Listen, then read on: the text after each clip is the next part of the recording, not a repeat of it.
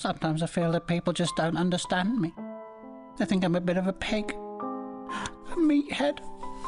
But deep down, I'm quite tender, really.